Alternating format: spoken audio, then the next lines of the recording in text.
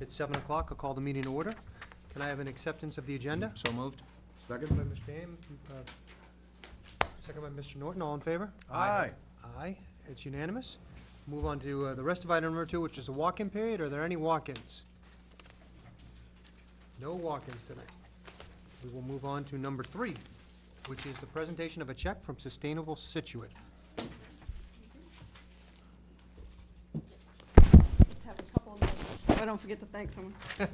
So I'm Kathy Cerruti from Sustainable Scituate, Kathy. and I'm uh, one of the founding members of the group, and I'm also the membership liaison. Uh, Usually Lisa Bertola would be here. I'm sure you're familiar with Lisa. She's actually in France, flying back today, so she's probably at Logan. So that's why I'm here in her stead. Um, So you're, I believe you're familiar with Sustainable Scituate. We're the local environmental group in town. And we are involved in lots of different conservation, recycling, uh, community gardens, Solarize Scituate, the wonderful Earth Day event that happened on Sunday. Yep. And we help with Chip Shape Day, uh, recycling. So I'm actually here about recycling tonight because I have a uh, check to present um, to, um, and I just want to mention a little bit about our efforts in recycling because uh, we've helped, helped Al and Kevin in the past. Um, We've helped them procure new, new recycling bins, yeah. Okay. Just one sec, I want everyone to be able to hear you. Yes, because It's yes. important. We're good? So let's- Zach, can you hear uh, Ms. Hear? Cerruti? Okay. Only need, because the uh, mic- this there up? you go. Thank you, Kathy. Yep. Go Kathy. Okay, so I'm here to highlight our partnership with the town uh, to help promote recycling throughout Scituate. And we've helped Al and Kevin in the past to procure uh, those green mesh recycling bins that you see throughout town.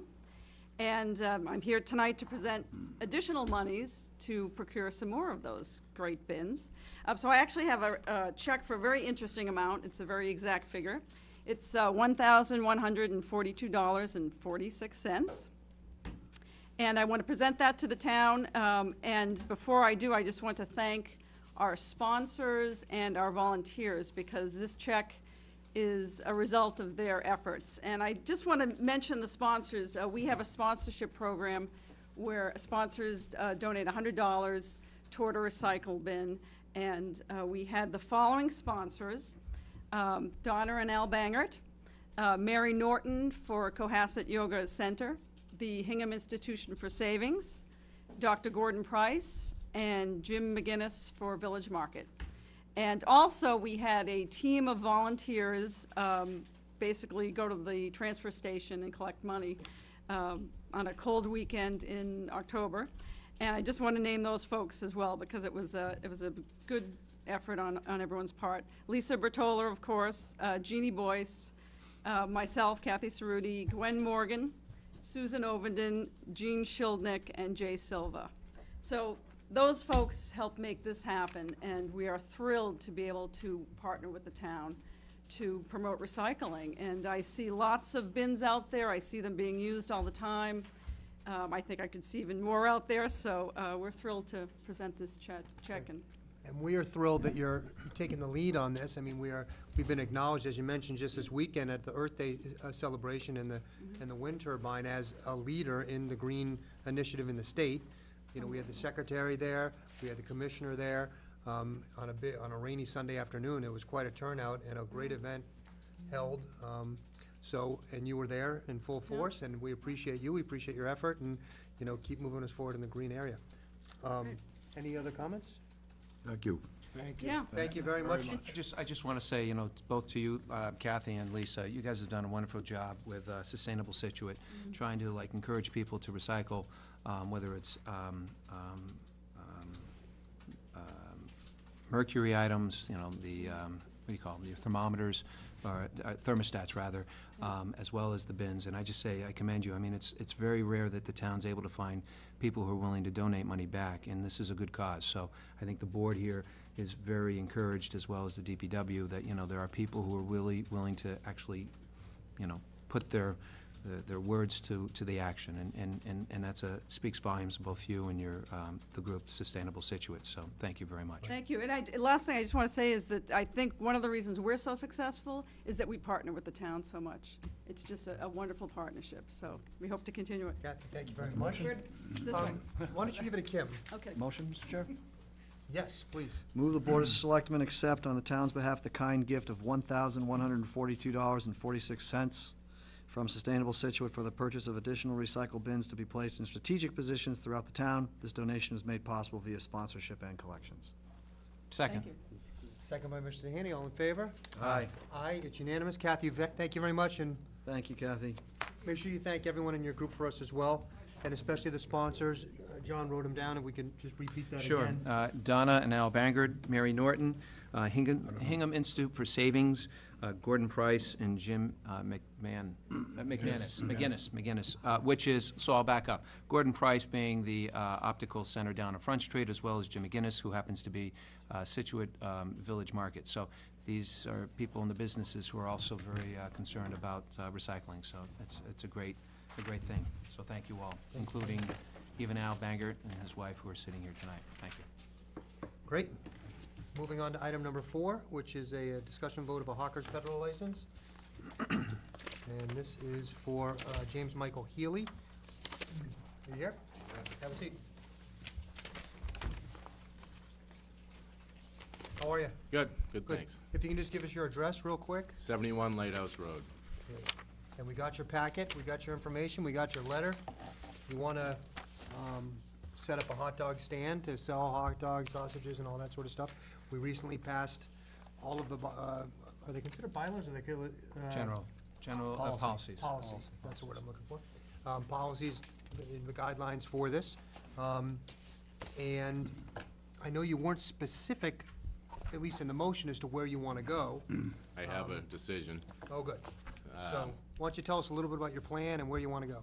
Uh, The plan is, uh, like I, s- well, you pointed out, just hot dog, sausages, maybe a couple sandwich specials here and there. Um, And I was hoping if I could get your permission to set up a Pier 44 parking lot.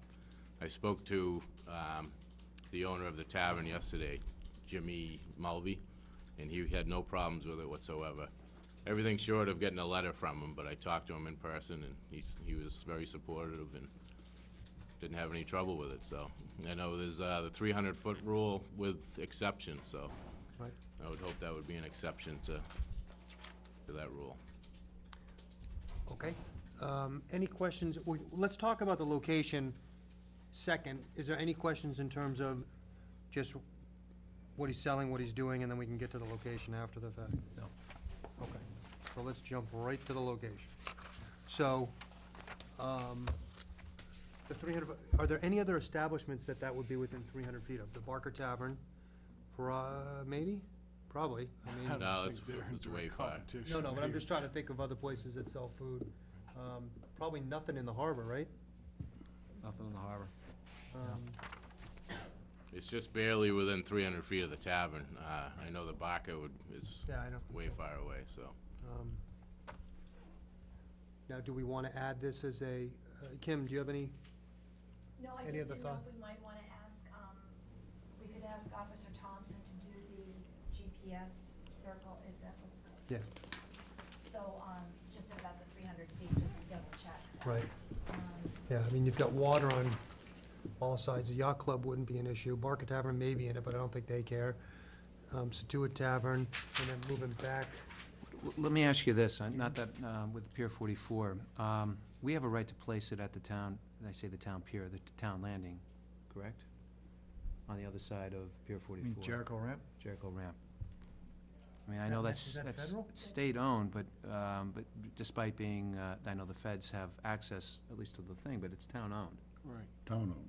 Right. And my only reason for suggesting that location is it's a little bit further away from Scituate, but also. The only, my only thing with that is, being a boater, I'd hate to be in there taking up any precious parking spaces in the boat ramp park. I parking lot. don't think you would, though, because of that green space right there on Jericho, which would give you a lot of access for If, people if- driving yeah, by. if the, yeah, if the grass isn't a problem, I know it's close to the road. It would give you both. But even still, I know a lot of people even pull up onto the grass, because the, if they have a big enough truck and a trailer, they I'm can't. only, I'm only thinking about that, Mr. Healy, from the standpoint, standpoint that you've got boaters who might say, hey, guess what, they're coming off the, the dock next door, grab something from you, as opposed to having to go around the old building at the uh, Scituate Community Building. It's right there, plus boaters who are going down with the boat ramp, you might have more Yeah, opportunities. That's my only reason for yeah, I just, I suggesting it. look at the Uh, pier parking lot as just a big wide open space that's, I know you guys aren't really gonna be using it for anything for a while.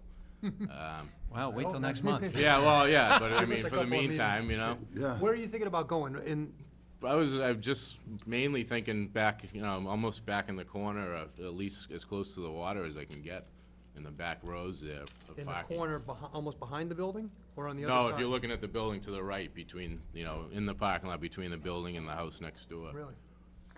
Um, Not a And I real just look heavy at it as a traffic area. wide open space, and there's plenty of parking, and I'm not gonna get in anybody's way in the boat ramp. Um, Shouldn't be any traffic problems. Right, Sean? He raises a good point, because um, if, if you have a long trailer with a, with a pickup truck, an extended cab or something, like they probably do drive up on the grass, so he might find himself having to move back and forth. That would, my first thought would have been, you know, you know, how does an existing, it's within three hundred feet, and how does, you know, an existing business feel about it? You know, and, and, you know, Mike, if he said he talked to Jim and Jim doesn't have a problem with it, then, then I don't, you know? Um, That would, that would be my biggest concern, is, uh, you know, we're within the three hundred feet, but if Jim doesn't have a problem, I'm. I just look at it as a, just strictly parking. I don't wanna have, I mean, that's a great spot to be on the grass there. I just worry about people pulling up on a sidewalk or taking up a space in the trailer parking lot and having some sort of a problem, you know, with a boater or something. Um, Pier forty-four is just a big wide open parking lot. I think part of our concern is, and I think John was alluding to that too, is there's not gonna be a ton of traffic in the back of a parking lot, whereas he's trying to get you closer to some action. No, I understand, yeah, absolutely. I just, you know, I'm still close enough, I feel, to the Okay, actual boat yeah. ramp itself and. Rick? Um, This is a little awkward, I'm just gonna preface. Um, I have no doubt at all you spoke to Mr. Mulvey, but I'm just a little worried about setting a precedent on just No, we wouldn't. someone's, someone's word. Yeah, we need And, something. and I, and I'm I not can get saying that, at not all a that I problem. distrust you, but, you know, Yep. there's potential for, you know, miscommunication and all that sort of stuff. Yeah, and, you know, Sean, I hear you, when, you you know, you know Mr. Healy and all that, but I just worry about that. Mm-hmm. So if we were to approve it, I would say Continue. pending contingent upon. I'm fine with a contingent upon thing. I don't wanna like nuke you here and then make you come back sort of thing. But Right. that's my only concern, just in the context of precedence. Yeah, I agree. Again, on the, on the future use, I think, of Pier 44 concerns me. And I think you're probably safe in saying we won't be doing anything uh, in the way of change over the next couple of months. No guarantee, though.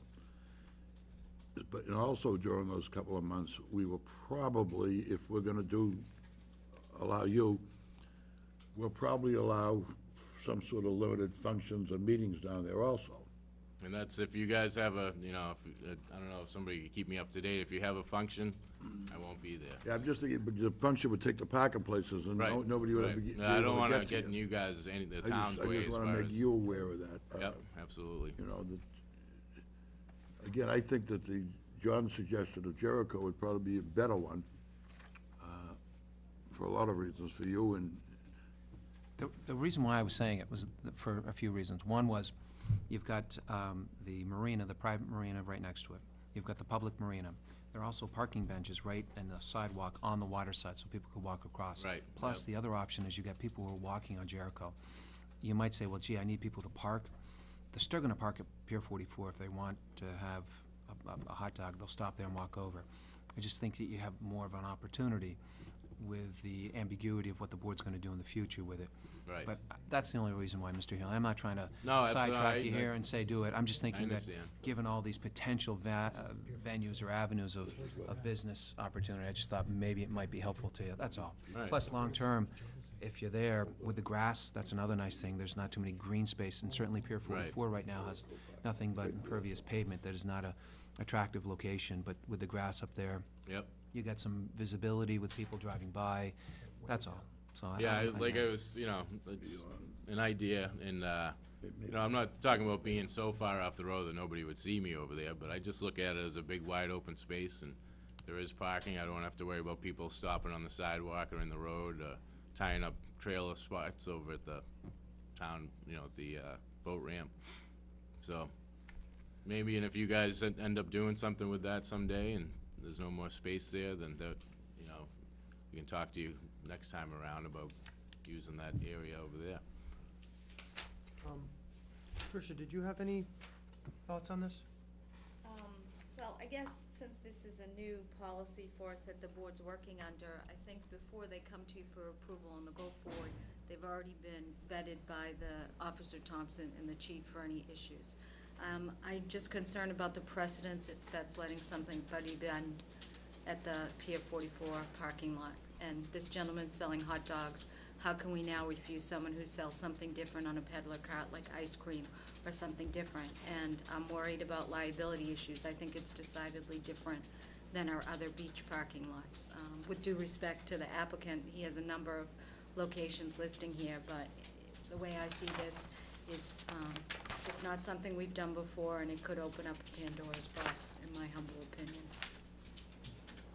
If I understand the policy correctly, if I, say you did grant me to use that space, I would be the only person with a s- town's hawker peddler's license that can use the space.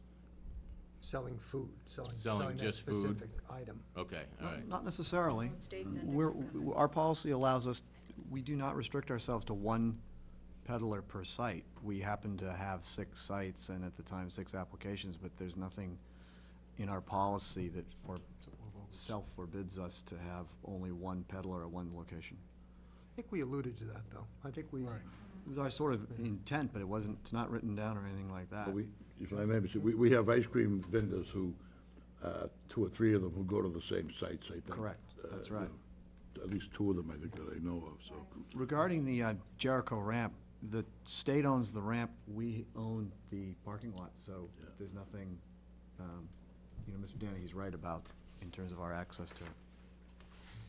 Might get people walking with a hot dog to walk out to the, as a walk or stroll. I, I'm just, Yeah, I, I understand, definitely. um, Ann Irvine, Hennicus Road. If you look at Pier forty-four, at the building, if memory serves me correctly, is the parking area directly in front of the building, and then further to the left, where they have the trash receptacle, there's more area there, which would then be right up against the town, I think, area. No, that'd be against the marina, private marina. The private marina, Yeah. but that spot wouldn't, There's like one space. Yeah, you're right, Yeah. we're still on that. You There's a still own little that bit of land. Still on the land, but you're next to the big propane tank hmm. stuff, yeah. And the reason, I mean, you're the first person that's really come to us asking us to make an exception. We just passed the, Right. you know, the policy a couple of weeks ago, so that's why this is, Causing us to think here. um, If I let me- if I could just add to it, I, I guess I have this uncomfortable feeling about issuing, and I'm all in favor of, of your enterprise and everything, and I wish you'd lean towards the Jericho parking lot. I just have this uh, uncomfortable feeling about allowing it at Pier 44, where we're going in another direction completely with Pier 44. Uh, I like Mr. Dennehy's suggestion also. I just, you know, Could, could I ask, Mr. Chairman, if, that he might go down and take another look at Jericho I mean, I know exactly what John's talking about. and see how it That's- works out? I mean, yeah. it's easy to talk about it here and not be able to, we can try to, try to visualize it, but, you know, you really to go down there, see if that would work. And if the answer is no, it definitely wouldn't work, then maybe we could go back and, and make a decision on, I mean, that's my thought anyway. what's your, what's, Tricia, what's your thought on that location? I, again, I mean, I, I would feel more comfortable if the board acted on these after the police department and Officer Thompson has recommended it. Otherwise, if you're improving and there's something that we might not be aware of, but, I mean, that certainly sounds like a, a better alternative location. Well, why don't, why don't we do this? Why don't I make a suggestion that, you know, there's only so many slots that we have available, and why don't we say that we'll put one slot on hold for you at some Okay. location. All right, I'm fine And with that. at, at this point, we want to get um, Officer Thompson to go in and look at the couple of locations you've discussed, and we want to get a letter from the Scituate Tavern. Yep, no Saying that they're, don't have a problem with being within the three hundred foot barrier. And then why don't you come back to us at our next meeting, okay, give us a little bit of time to think about the spot, go look at the spaces ourselves, and then we'll go from there. But regardless of the number of slots that we have available, whether it's Peggotty, Minot, Egypt, or, or other, we'll, we'll hold one of them for you. Does Okay. that sound reasonable? Yeah. Sounds In other words, we're not gonna act on anybody else's yet until we've had an opportunity to. right, yeah. Yeah, Fully that's, vetted. This is your that's next my one. area, we'll just say my area of preferences, Okay. Jericho Road, they didn't, you know, in that, good.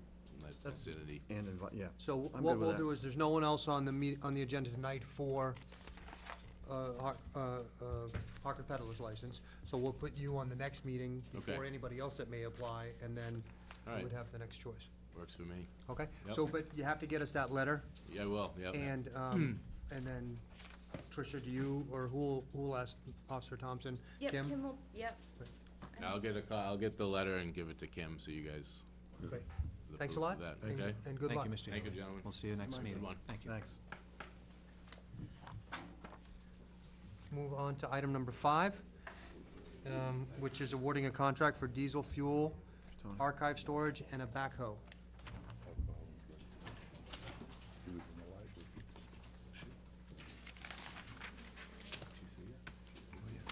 Thank you. Uh, We'll discuss diesel fuel first. Um, We are Such an going to interesting switch- topic, Al. Yeah, well, I know it's one of your favorites. Kind of is. Uh, Sean is sort of an expert in this area. Sean, I thought I'd hear that from you first. Waterways. Um, What we want to do is uh, use the uh, low bidder, the best bidder, rather, from the uh, Commonwealth's competitive bidding of uh, a number of services, and this particular service is uh, for diesel fuel. We buy the diesel fuel in the DPW that's used by the schools, for the school buses, by the fire department for the big vehicles, and of course for all the DPW equipment. This amounts to around seventy-six thousand dollars a year worth of purchases. And uh, we have a fuel management system such that as fuel is dispensed into any vehicle, uh, there's a chip that is uh, logged in, and that vehicle is actually billed for, the, the department that owns that vehicle is billed for the fuel. So when the bill comes in, um, Christine Johnson splits it up among all of the uh, different departments. But we, nonetheless, we buy, we contract for and buy the fuel. Uh, We have been using another provider, Dennis Burke. Um, Global Montello Group of uh, Waltham is a, is equally qualified supplier and offers a price that's uh, very competitive. Great. So you're asking us to accept the lowest, uh, well, the lowest one is the Global Group? They're the lowest ones from the state contract, yes. Any discussion?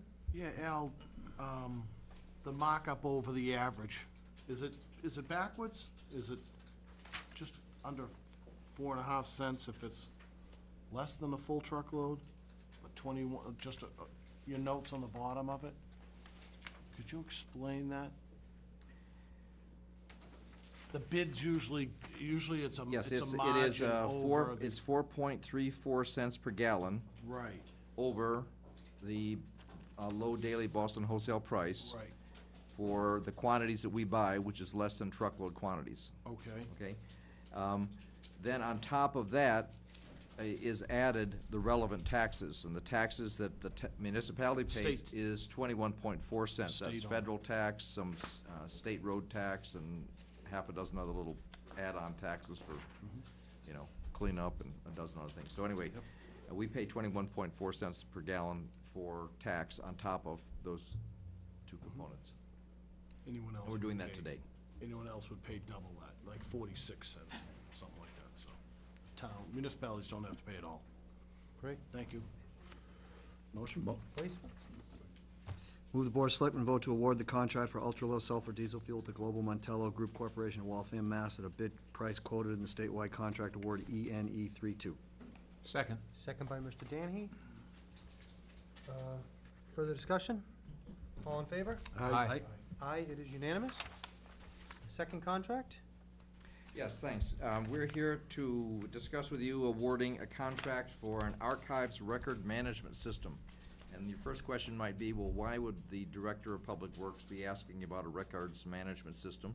And that's because this is a, a step in uh, recovering uh, space in this building that has uh, grown to be filled with um, uh, Yeah. important and also obsolete files and other materials. Uh, And if you remember, at the, uh, in the last year's, in the budget for this year, we included some money to essentially recover the use of space within this building. Um, We're combining that with some uh, money that was funded by CPC for archives uh, proper management uh, uh, through a project that, uh, that Bernice has put forward, and there's about twenty thousand dollars in that project.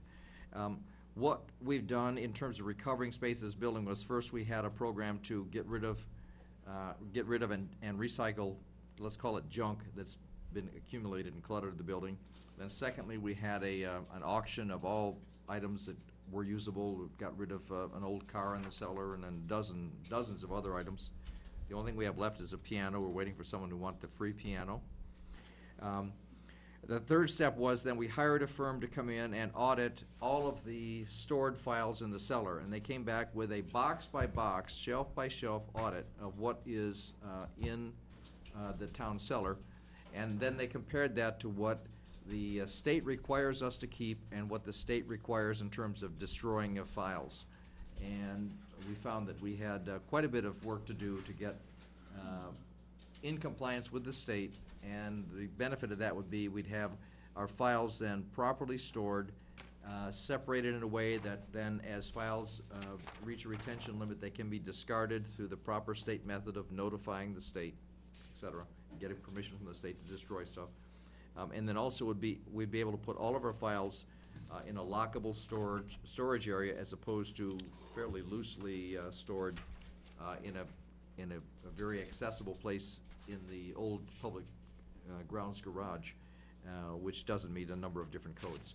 So um, we went out for a requested proposals. Uh, We got a proposal back from this firm, uh, who is, uh, we then, Bernice went out and interviewed a number of other towns to see who used this firm.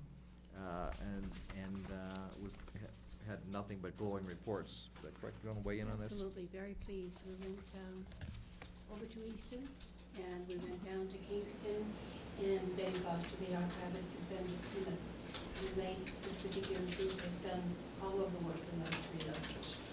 Done a wonderful job, and under some very difficult circumstances. We in fact have much better circumstances here for our archives than the other communities have, other than Plymouth. Is that it? Sean? Just to thank Al for taking me on the tour before our meeting tonight, show me firsthand of what we're in for. Yep. The tour is available to all of you, by the way. We'll take Sean's uh, word. Just, just as an aside, to follow up, Bernice uh, just said that we are in much better shape than some other communities when it comes to the archives, and that's due, I'm sure, and Bernice will agree, in no small part to the people who've done this for years and years and years, and- and done it unheralded in many cases. Uh, There are people who volunteer their time, who go downstairs, and who, who try to, do their best, and obviously they do a good job of getting these records in order. And it's not the most exciting job in the world uh, to many of us, but it's so important, and, and they volunteer, and they just, they're fully devoted to it. So I think the fact that these records were in such good shape uh, speaks volumes of what they've done over the years, over twenty. Very true, yep, Joe, I'm yep. glad you brought it up, because since nineteen seventy-six, when they brought the first archivist in and sent that person to Washington for training under a grant, um, the work has been going on in the archives, and it's all been done by volunteers. And each successive year, we end up with some of the same people that we've added to the group, and we've done the same thing again, and it's really impressive what Yep. they have learned and what they teach all of us. Special thanks to them. Yes. And good job arranging the funding and finding the sources for this, because it's exactly what the CPA money was for and the other monies as well. Nicely done. Motion, Mr. Chairman? Hold on for one second. I actually wanted, uh, Bernice Brown, Town Clerk for people who are watching TV. I- I know Bernice didn't have an introduction, so I want to make sure we get that on. Right. Um, Questions I have, though, is this. Um, With respect to this proposal, um, are they scanning the documents so that these are going to be put into electric format, uh, electronic actually, uh, format? I- uh, what- let me- The scope of work does not include scanning, and in fact, um, let, set aside scanning for just a second. Um, And, and also I'd like to address the word archives and archivists. What, what you're referring to that's gone very, very well is, are the important old records of our town, being able to retrieve information on births and deaths and old buildings and maps and that sort of thing. Where we have a problem is in, uh, uh, old payroll records, old, uh, I don't wanna name any department, but any, my department in particular, let me just say that, we have probably, um, well, a, a lot of stuff in the cellar that we don't know what it is anymore, because it's, it's hard to, to get at and probably is no longer relevant. The state requires, before we throw any of that away, that we document what it is, apply to the state for permission to destroy it, and then destroy it. Because that's such an arduous step, everything of those, what you would call nu- uh, nuisance files or even discretionary files that have built up over the years. So what they will, what they know, John, is what needs to be saved in perpetuity and, and what you need to be able to, of those old payroll records, be able to retrieve at any time when asked by someone of interest. Um, Then, uh, we have a choice at that point. We can either retain those records in a cataloged system, which they will install, and/or then we can, uh, what's it called? Microfilm. microfilm those records versus scanning. Because microfilming is seen by the courts as a legitimate, as, a- as equivalent as the original, whereas scanned records can be modified. So, for a very low money, uh, they can microfilm a lot of those old files that we need to keep versus scanning. That leads me to the next question, which is that what we're proposing to do by passing this um, contract is that it's not going to impact, if you will, any type of strategic plan the, the, the- the Board of Selectmen have with any type of future town office or town hall. In other words, what we're doing is more documents Yes. as opposed to structural. So any money that we invest now is not going to, shall we say, be stuck in the building itself. It's going to be It's stuck with 100% recoverable. what we're going to be doing in the future. All right. Good question. Thank you. And just to clarify, we're doing item number four, which is basically that book of information right there, where it says, you can throw this away and you've got to file documentation for this in each box. Correct. That's what we want to do, take that next step. Yes. And the fifty-seven thousand dollars, I heard twenty-something of it's coming from CPC, and the rest of it is in, who's, bu- in your budget this year? It's in the override. Excuse me? It was in the override. In the, o- in the override, okay, so that's So- part of that, Retrofitting, you know, cleaning out right. downstairs, records, retention, remember, we wanted, the Yep. records weren't fireproof and all that, that was part of the Right. Right. funds. And a clarification of the CPC fund is, we applied um, three times for grants, but we applied for that money in stages. And where we're getting to be right now was really our end stage, um, what we really had to complete in order to be able to go forward with microfilming or coming up with secondary sources, which would be scanning. So that puts us exactly where we intended to be, as we proposed for three years. Great. We receive funding. Motion? please. Move the Board of Selectmen vote to award the contract for all materials and labor associated with establishing an archival records management program to King Information Systems, Inc. of Norwood, Mass. At prices quoted in the response to the competitive bid open on April nineteenth, two thousand and twelve. Second? Second by Mr. Harris. Further discussion? All in favor? Aye. Aye. Aye, it's unanimous. Thank you very much. Thank you very Thank much. And the, uh, the third contract, we're gonna defer till two weeks from now. Okay. And this, could I make one little pitch? Sure. And That is that Zach, you got that? Oh yeah. This Saturday is Ship Shape Day. Uh, it's sponsored by the Beautification Commission, the Police Department, the Chamber of Commerce, and the Department of Public Works. And materials are available at Town Hall, rain or shine, that's how we do things in Public Works, isn't it? Uh, at eight o'clock on Saturday morning. So let's just People can do it say, anytime during the weekend. For instance, hypothetically, there's a group of people that want to participate. They should get up on Saturday morning and go to Town Hall. Town Right Hall, out front here. right out front. Pick up bags, gloves, grabbers. Uh, we have now a reflective vest for people who are gonna be in, in any kind of street side location. Uh, The police will be out to help uh, uh, make sure that traffic and everything is under control. Uh, Anything that's picked up is put into these special bags and left along the streets, and then Public Works comes along Monday and picks it up. If a family can't get to it until Saturday afternoon or Sunday afternoon, but they want to get the materials on Saturday morning, please come do that. Anytime during the weekend, they can do the pickup along the street, they can be assigned an area, they can volunteer for an area, and then uh, the goodies will be picked up on uh, Monday morning. And you can even direct them to an area if they're looking Yeah, for. yeah, we have, we have a couple of places in mind. Great, Great. Okay, Thank you. thanks, Thank Al. you, Al. Thanks, Al. This Saturday. Okay, moving on to item number six, which is a discussion vote for an emergency sewer tie-in at 21 Ann Vinal Road. Hi, Frank. Frank Lynch from the Board of Health. Frank, how are you? Sorry, we only have one copy. Oh, yeah. Let me get Bill, he might want to be here. Move to allow. Might as well. I think that's the right one. Frank, is this Texas tea? Pardon me? Is this Texas tea? You don't want to drink it. I can Jed, tell you Jed that. Clampett, you know? That's You know, You didn't a, get the uh, reference? That's a distribution box on the property, and blue color was curious to me too, uh, but I think it's just a reflection of the The- sewage, yeah, yeah. unfortunately. Um, But it, it basically shows that the uh, distribution box of the system is completely underwater. Um, This is actually relatively a large lot compared to a lot of the lots that we've dealt with, but you'll notice uh, that most of it is in the wetlands, so it doesn't give us any option there. Two test pits were dug, first test failed. Um, The system is basically in the groundwater, as is evidenced by the distribution uh, box, and the uh, groundwater in the one test pit was at twelve inches, the other one at twenty-seven inches.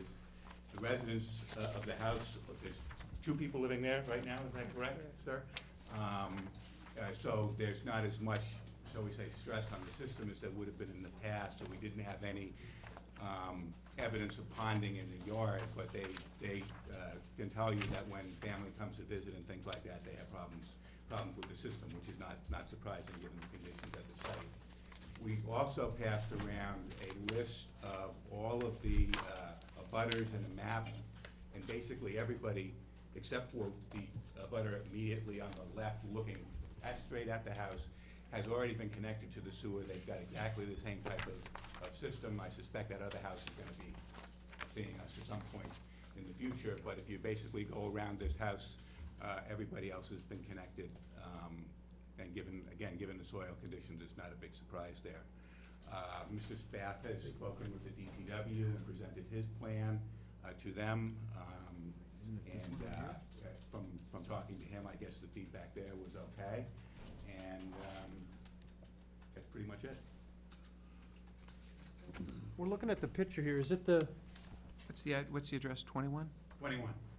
I marked number twenty-one there, I think I six, understood. oh, there, So it is that one, yeah. Pardon me? Oh, yeah, the stuff is, That's something else. so.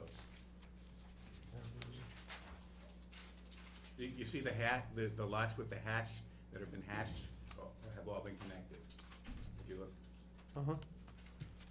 Through emergency or through, emergency. That's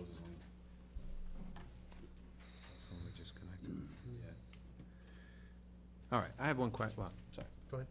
Question I have is, where is this in the priority districts as far as sewering? Do you know at all, Frank? I don't. Anybody? Not. And I, Al, do you know, Al? It, it's not? Not. Not at all? This is not a priority area. Not at all? Wow. I only ask that because it seems like there are a lot of wetland issues in this area, and I'm amazed it's not on a Can I jump? priority. I gotta jump in Jump before right in. Jennifer does. There's a reason why it wasn't on the priority district. If I misspeak, misspeak, tell me, Jennifer. Jennifer didn't have, when they were forming those priority districts, she didn't really have a say in, you know, so give her some, in give them some input. It had to do with the number of homes, it had to do with pro- proximity to, you know, the existing lines and so forth. But there is, that whole area, of Rose's Lane include Joe's old neighborhood, it's all clay and, um, as you can see from the perks, it was what, less than an inch in two hours or something? It's- Mike? That's why the line is in the street now, is because we had to connect the school. And when they put that line in the street, they provided the stubs for these houses, so they wouldn't necessarily have to dig the road up again. So you'll connect May I- right may I down? jump? That's not Yeah. quite true. I mean, I'm gonna vote for this, so, but that's not quite true. Those stubs were put in with the, with the clear understanding at that time that they were not put in uh, for those homes. We had a lot of discussion over this, and I remember this extremely well. It wasn't so that they could, they could tie I mean, in it- just because the stub was in front of the house, but it was that they still had to go through this. This, this whole area, I- if I may, Mr. Chairman, what we should probably do is not even go through this anymore. Just allow people from this area to tie in. I mean, it- it's, it's, it's, I mean, it's all an emergency. We- there- There's nothing that we're gonna turn down. Uh, It's, I think, if the house next door to Mr. White's or across the street or the next one, who, who doesn't have sewage now, uh, came forward, would give them a, would let them tie in. If the house is on, on, uh, was it Bittersweet, which is right up the street, uh, came forward, we'd have to let them tie in. Fieldstone would have to let tie in, Long Meadow, we have to let tie in. The rest of the area is all being tied in by the, the, the- the new sewer project. Um,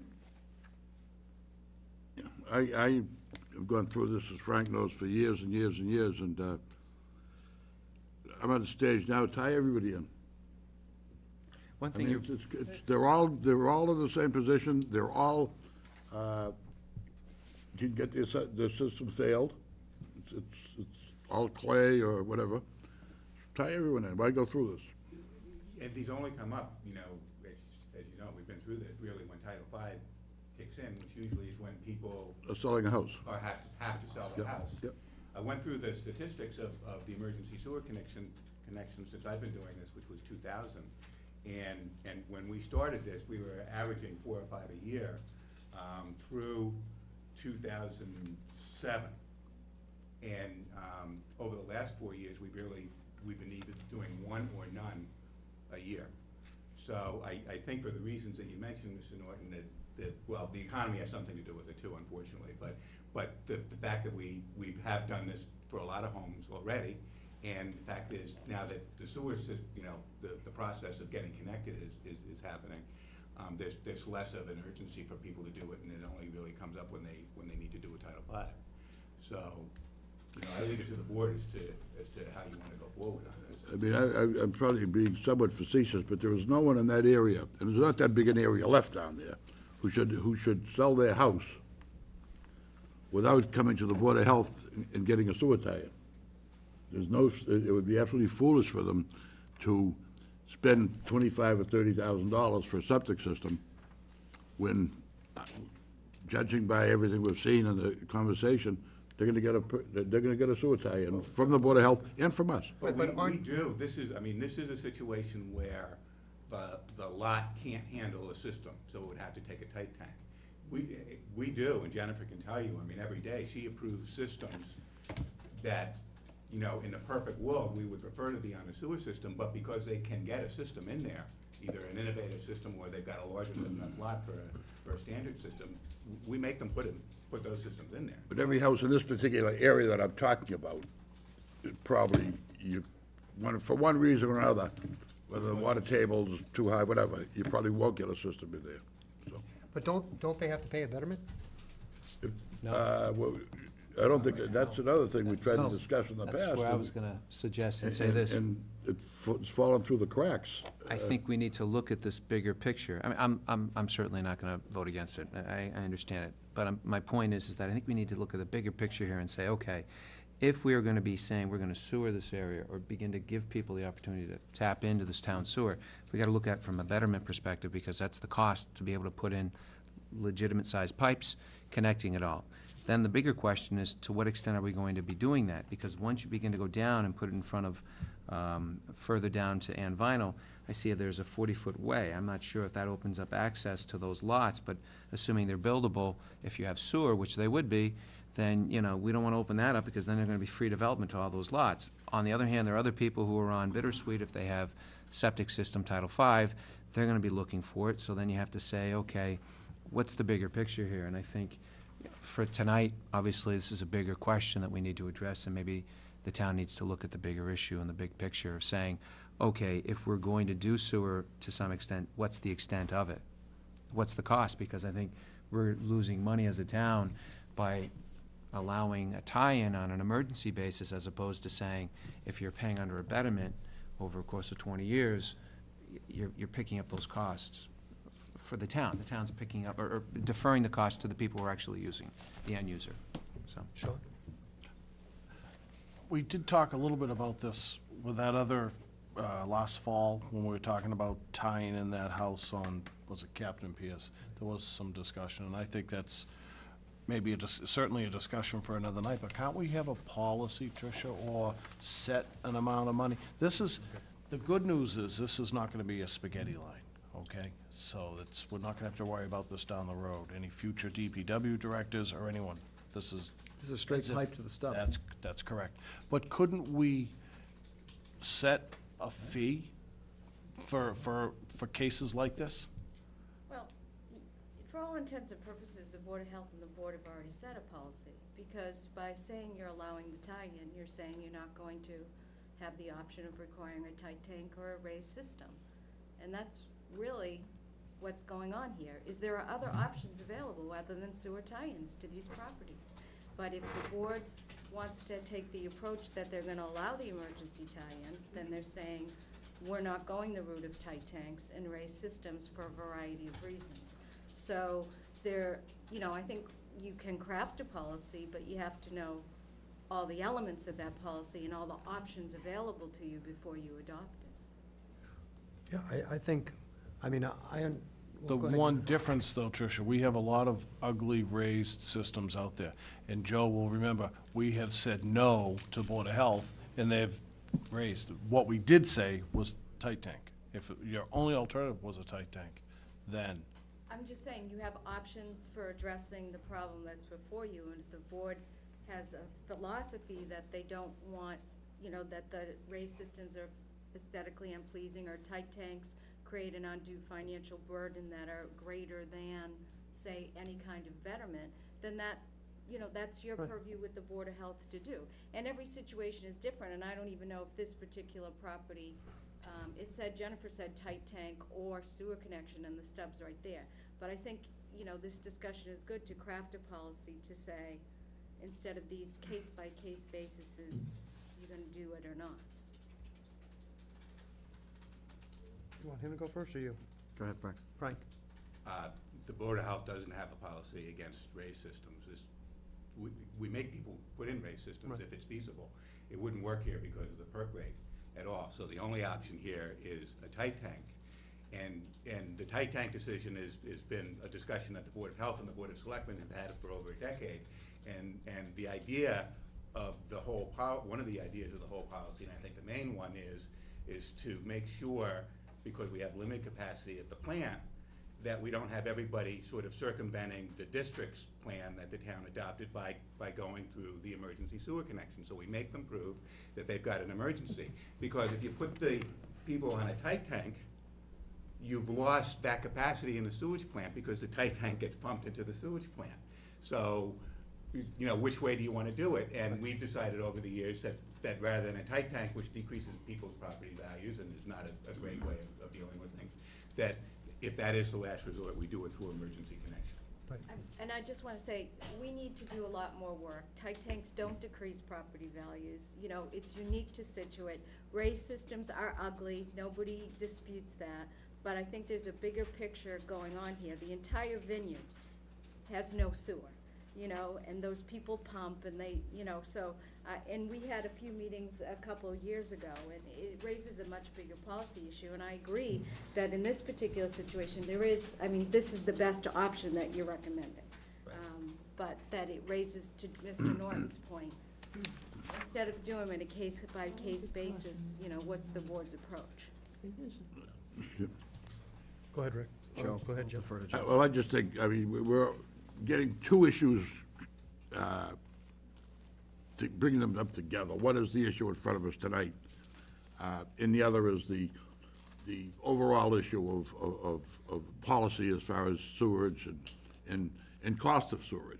I mean, I've always said that it's somewhat unfair for uh, someone to come in for an emergency system and be charged five thousand dollars, while there are people down right now in, on Hadley Road and down at being charged eighteen, nineteen thousand dollars for the same hookup. And that's just, isn't right. We gotta be fair about the whole thing. But again, that's two different discussions. That's a discussion for a later night, and I think we should try to put that on the agenda to either address that question, do we continue to charge five thousand dollars, or do we go with a standard fifteen or eighteen thousand dollars? But that's the discussion for the night. What we're dealing with here tonight is this issue, uh, which, let's say, is grandfathered in prior to the other discussion, so I don't have a problem with this, and I'd, I'd vote for it, keeping in mind that we need a further did you have- discussion. Uh, Both these gentlemen said what I was gonna say. Just, just out of curiosity, uh, the house has, I assume, a cesspool originally, right? Pardon me? The- The house, when it was built, had a cesspool? Right. And I guess my thought process is, when was the house built? 1960, 1955? And, and my thought was, is that if the cesspool, just out of curiosity, uh, Mr. White, I'm, I'm just toying here because I'm just curious about it. If the cesspool worked for those uh, numbers of years, how is it that all of a sudden, when you're trying to put in a, a leaching field, now granted, there are two different type of mechanisms here, why wouldn't a, a- a leaching field work? Giv- Given that it worked with a cesspool, even if it were a pour over cesspool for 40, 50 years, how is it that all of a sudden, that now with a, a- a leaching area, I'm asking it because people on TV are gonna sit here and go, well, the house was built 50 years ago, why is it that everything was fine until now recently, now you have to tie in? If Title V existed in nineteen sixty, it would never have been built that way. House will be sold now. So, You're, you're basically putting the sewage into the groundwater. So Title that- V is changed twice rather than And, since. and- and basically, as a result of all of the buildup, and all of a sudden now we're having breakout, which means that all the effluent and things are popping up to the, to, to the, um, to the topsoil, so that people understand that's the reason why trying to put in a new system isn't going to work. That's, just wanted to explain it. Thank you. Motion, Mr. Chairman? Yeah, just so we can get one thing clear, so there's gonna be a five thousand dollar fee for an emergency hookup for this case. And Kim, can you put on our, um, neck, if the next meeting's too big, then the one after that, to discuss, um, the fees for emergency hookups? And then we'll deal with that.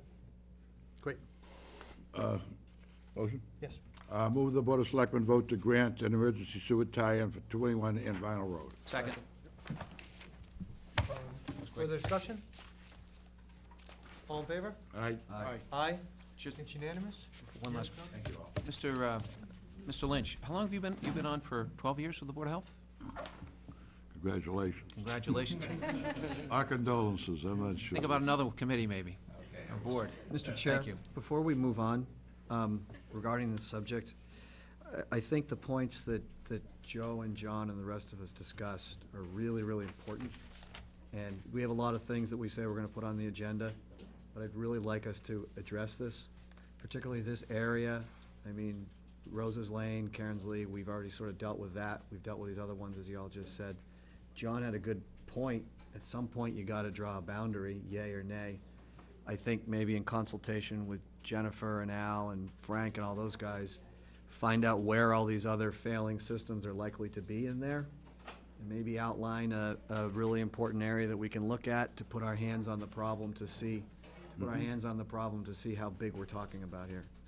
And financially, it's a huge thing that some people are able to get in for five grand and other people get in for twenty. And we really need to address this. Well, the thing is, as somebody brought up, you only address it when you're selling the house. Right, but we as a town need to, to look at this and, and, you know, I think it's, it, two meetings from now is probably optimistic because we need a lot of data before we can, you know, make any real decision on this, is the number of homes we're looking at. I'd also like to know roughly what our alleged sewer capacity is at the treatment plant. I mean, a tight tank, as, as Frank said, doesn't solve the problem, it just changes the mechanism by which the poop gets to the sewage treatment plant. And, um, you know, I'm, I too am against raised systems and, uh, and that sort of thing. So, But we gotta get our hands around this, particularly for this district. And it takes a while, as we all know, to implement any plan. We've got our hands full with Musquashcut right now and so on, but we should start thinking about this. So I think this discussion is really good, but let's make sure we do it. You, you have to remember, if I may, Mr. Chairman, that probably, this is without any backup uh, in front of me, the last fifteen sewer tie-ins that we've granted, Right. all fifteen houses have been sold Absolutely. within Right, because three the Title, months. I Title mean, mm, you. Right, absolutely. So that's the reason that, to Right. answer John's concern of earlier, you know, why now? It's because the house is gonna be sold. Sure. But proactively, and in terms of like protecting the, the drinking water supply and all this sort of stuff, I mean, this place has obviously been failing for a long time. It's just mm. had, you know, low usage. And, uh, it's just better for the whole or, overall district, the more we can get on, on sewer. Particularly given the financial impact of this, in the sense of some people are getting in with an emergency and some people are not. Plus, plus the other thing I didn't raise, but if you end up selling, you get on town sewer, then you can expand your number of bedrooms. Whereas when you have a Title V, you can't, because you're limited by the number of bedrooms plus one. So if you have a three-bedroom home, you know, you could blow it up into a five-bedroom home, where under Title V, you can't. You can only maximize it to four. And while there is a cost there from sewage, granted, there's an increase with, you know, your taxes and the values, but, you know, it just creates a larger and larger. One last, cost and- and one also last comment. Well, expense. just- I don't wanna say that sewage is my favorite topic by any means, but, um, what we're doing, if, uh, if I, statistics are correct, the fifteen of the last fifteen have all been sold. Probably. What we've done is we're giving, we've given sewerage to fifteen new residents of Scituate. Right. In the meantime, people who have had, uh, lived here for fifty years and have suffered through breakouts and septic system and repairs and all that, don't get it. So someone who just moves into town uh, gets it immediately, as soon as they pass papers in the house. Someone who's been here for fifty years doesn't get it, and something's wrong with that philosophy, or that And I'll also, policy. and I agree, and I'll also add to that, they've been getting it at a subsidized rate. At the, fi- Well, I think conceptually, we all agree that the inequality of the rates is, is unfair. So I think right away, at our next meeting, we can agree to do something with that portion of it. Any sort of analysis in terms of what the, f- what this area's impact could be on the capacity of the sewer is secondary. If we just say, look, you wanna do it, it's gonna be the same price as you're putting in a tight tank or whatever, or, or if you would actually hooked up to a betterment, so. I mean, I don't think we have, anyone here has the expertise to determine, even though it- we see all these houses in this area, we don't have the expertise to say this area I is agree. any better or any worse than any other area in Scituate as far as sewage is concerned. You know, just, it's just that these people have coincidentally all seem to tie in for one reason or another. That's all. Mr. Chairman, thank you. Great. Um, Item number seven is uh, acceptance of a resignation from the Pier 44 Committee. The clerk want to read that? Sure. Um, I'd like to read the, you want the motion or read the letter? or How about the letter? Okay, sure. Um, This is from Ed DeSalvio, Edward V. DeSalvio Jr., um, who's resigning from the Pier 44 Building Options and Feasibility Study Committee. Dear Selectmen, please accept this letter of resignation from the Pier 44 Committee. As a member of the Pier 44 Committee, I was privileged to be part of the completion of the Phase 1 report, which has been delivered as well as presented to your board. Unfortunately, I will not be able to continue on the committee during Phase 2 of the committee's charge. I've enjoyed working on this project with a wonderful group of talented committee members. I also appreciate all of the support that was provided to the committee by many town officials, including the town administrator, the building commissioner, and the Department of Public Works. I wish you and the Pier 44 Committee great success in the upcoming Phase 2 of this important project. Respectfully submitted, Ed DeSalvio, uh, Jr. And I think we all want to add, you know, the presentation that they gave the other night was so thorough. They did a great job. It took a, it took a while to do it, but that's because they put the energy and the work into doing it the right way. So Ed, thank you for your leadership there, and um, hopefully we'll see you in some other capacity. I'd like to move the Board of Selectmen vote to accept the resignation of Edward DeSalvio from the Pier 44 Building Options and Feasibility Study Committee, and further, that the Board thank Mr. DeSalvio for serving as the chairman of this committee, as well as lending his considerable time and expertise to this important town project. Se- Second by Mr. Dennehy. Further discussion? All in favor? Aye. Aye. It is unanimous. Item number eight, also, there's an opening on that committee now, so if anyone's interested in Phase Two. um, Mr. Chairman, it's my distinct pleasure to have the opportunity to read the uh, Arbor Day proclamation as clerk of the board. We've been waiting all night for this. I this. know you have also, Mr. Yeah, yeah. I notice you're wearing your green coat, too. Yeah, Thank you Good. very much. Whereas in 1872, J. Sterling Morton proposed to the Nebraska Board of Agriculture that a special day be set aside for the planting of trees. And whereas this holiday called Arbor Day was first observed with the planting of more than a million trees in Nebraska, and Arbor Day is now observed throughout the nation and the world. And whereas trees reduce the erosion of our precious topsoil by wind and water, cut heating and cooling costs, moderate the temperature, clean the air, produce oxygen, and provide habitat for wildlife. And whereas trees are a renewable resource giving us paper, wood for our homes, fuel for our fires, and countless other wood products. And whereas trees in our town increase property values, enhance the economic vitality of business areas, and beautify our community. And whereas trees, wherever they are planted, are a source of joy and spiritual renewal. And whereas the town of Scituate has been recognized as a Tree City USA by the National Arbor Day Foundation and desires to continue its tree planting practices. Now, therefore, we, the Board of Selectmen for the town of Scituate, do hereby proclaim April 27, two thousand and twelve Arbor Day, and urge all citizens to celebrate Arbor Day and to support efforts to protect our trees and woodlands. And further, we urge all citizens to plant trees to gladden the heart and promote the well-being of this and future generations. Signed by the Town of Scituate Board of Selectmen, Anthony V. Vegnani, Chairman, John F. Dennehy, Sean Harris, Richard W. Murray, and Joseph P. Norton. I think you could have shortened that to I Love Tree Proclamation. Second and? Second, I'll second that. Oh, wait, do we? No- No motion necessary. No motion, I'll great. still second it. Happy Arbor Day. Moving on to item number nine is the uh, town administrator's report. Thank you. I just have one item, but um, I'd like to take a little time to discuss it with you. Um, One of the great things that was provided in the override was funds for staff training. And over the past year, we've been able to send a number of different town personnel to various training uh, opportunities. Those have ranged to management and supervisory training for the sergeants in the police department, to supervisory and management training for the water superintendent, to additional accounting training for staff in the um, accountant's office, um, to a uh, multi-phase training program for professional staff in the area of communication, time management, and customer service. So, um, one of the things that we embarked on earlier this month was to look at the way we provide service to the customers in the town, both internally and externally. So at the staff meeting, the earlier part of this month, we spent two and a half hours developing a customer service mission statement.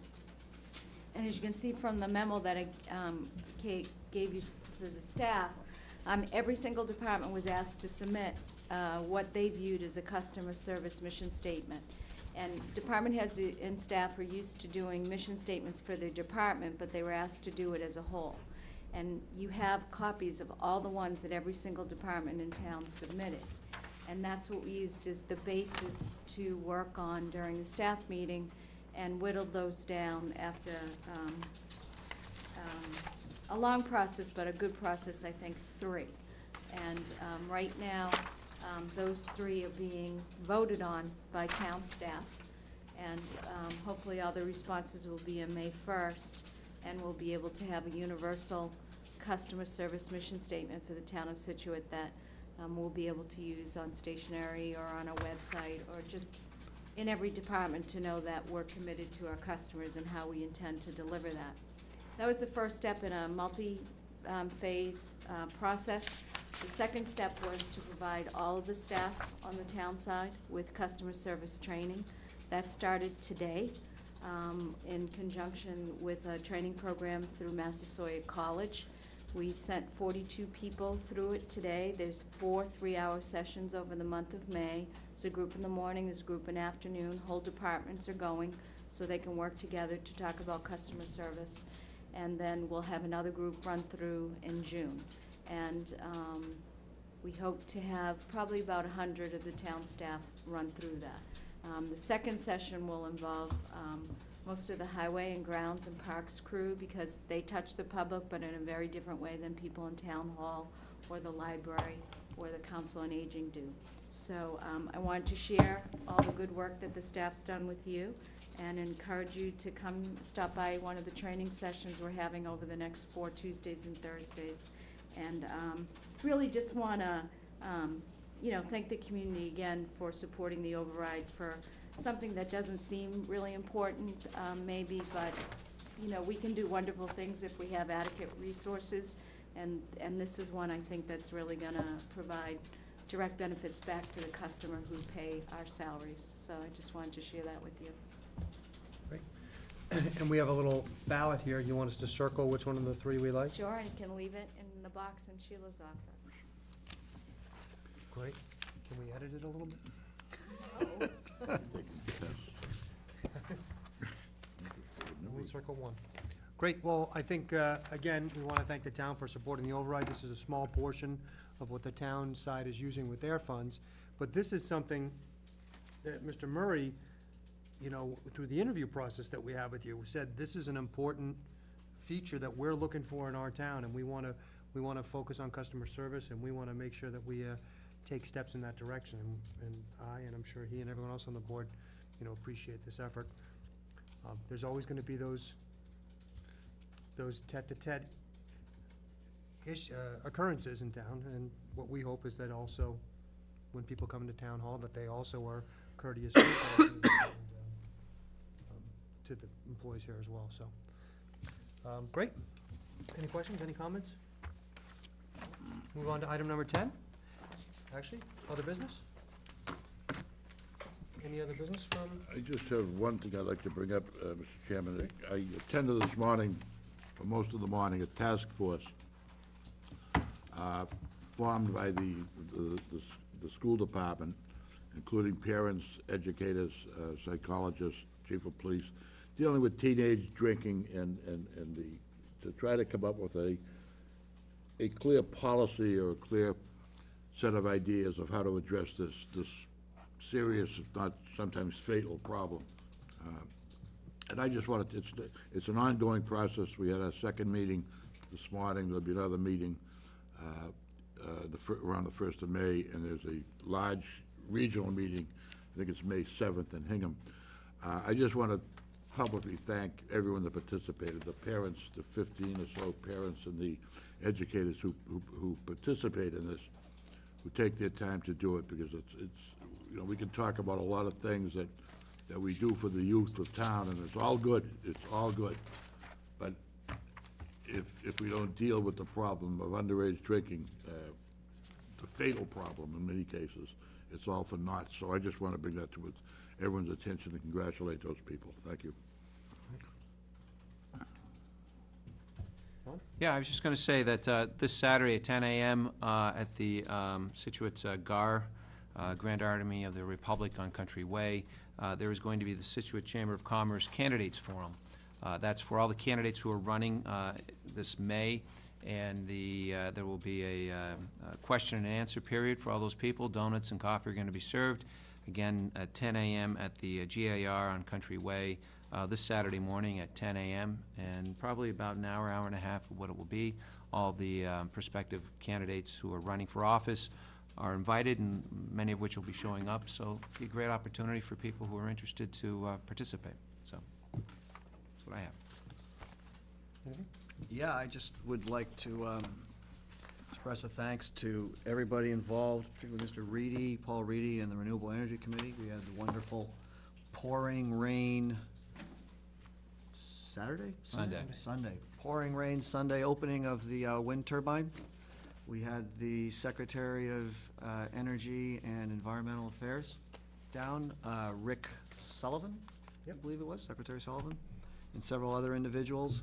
There were probably, what, I I did sort of a rough head count, about 130 people crammed in the pouring rain tent? Yeah. Um, Hundred and thirty-four, I think. 134, okay, yeah, that was before I left, so maybe that was, that was why I was off by a little bit. Um, But uh, Mr. Vegnani had some good words, and uh, it was a great event. It was very impressive to see all the different people from the different state boards and commissions who are very aware of what we're doing in Scituate, not only with the wind turbine, which was the subject at hand, of course, at the time, but the solar array, and ESCO was mentioned, and I mean, across a whole spectrum, we are doing a lot of energy savings and money savings, which is good for the environment and good for the town, and good for jobs all at once. So it was just a great event, and, um, of course, it was the only day it rained in the last six months, but so it goes. It's a good event.